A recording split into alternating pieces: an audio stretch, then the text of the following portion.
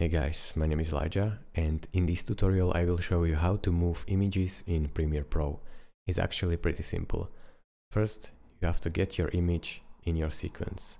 I will scale my image up with this scale effect so it is bigger and I will position it to the left.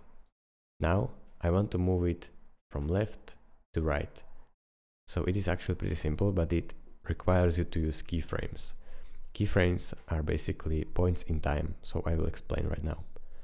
Click on your image and get on the get your uh, playhead at the start of this image. Then go over to position and click this stopwatch, toggle animation. So right now at this point of your video, the image will have position this one.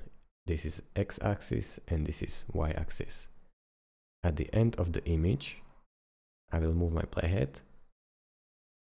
I can set the position differently. So let's say I will change it like this and as you can see, it will appear this uh, track line. And now when I play my video, the image is moving. If you want to see your keyframes, then you have to drag this one like this and this one as well, if you can, of course and you should see something like this. This is your two keyframes, one and two.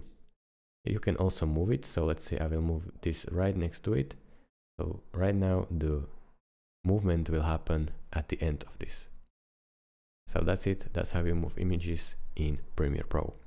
Thank you guys for watching, if this video was helpful to you consider subscribing and liking this video and I will see you in the next tutorial. Bye bye.